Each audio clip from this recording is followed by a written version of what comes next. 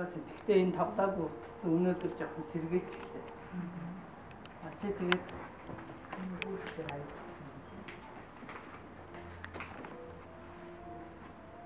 За тэгээд та нар уншаад юу мэдхүү.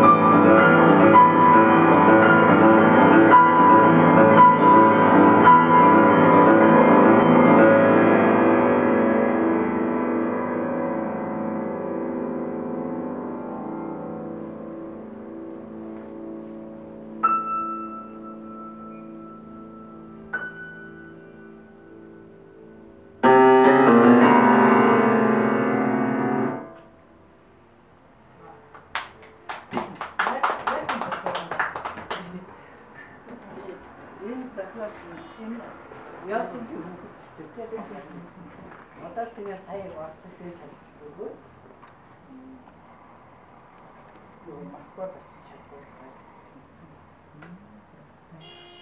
А хэдэн он гэсэн Энд чинь 3 жилийн өмнө одоо бас хашааны лохоо өдр гэдэг би Энэ гой зохиол. яг энэ төсөлсөн байгаа. тийм ээ. Энийг номыг өгсөй те. Тэгээд зүгээр чи уушаарай. Энэ энэ аав зохиолоо багшаад ирээдүйд зохиол биччихгүй. Айгүй их тийм юутай. Драмтай юм байна. Өө тэг тэг тэг. Зохиол. Тэгээ хоёлаа энэ дээр бас ажилласан.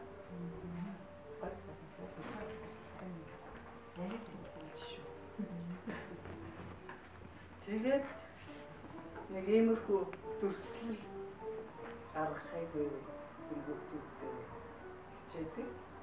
Ер нь хөгжмийн зохиолч бол уран дүрслэл гаргах хэрэгтэй шүү дээ. Хүн болгон жишээлбэл одоо энэ анар эрдэнэ зохиолч анги биш л дээ. Судлаач болох гэж байгаа. Зохиолч болох гэж байгаа хүмүүс за чи энийг уншаад нэг ирээгүй. Бас шал өөр юм зохиол шүү дээ. Тийм үү? Тэр хүүхдийн сэтгэл тийм ээ тэр хүүхдийн бодол, тэр хүүхдийн өнгө, тэр бүгд шингэдэг болохоор зэрэг би миний ээж ч гэсэн өөр рамын уулын дотоод сэтгэлийн дууны мөнгө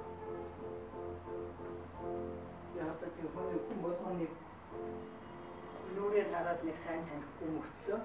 Хоолоогоор нь бол аа за за. Энэ нэмаа явж яа энэ тэр явж яа гэдэг. Ялгахгүй Хүн хүн болгоны дотоод сэтгэлийн өнгө өөр юм аа.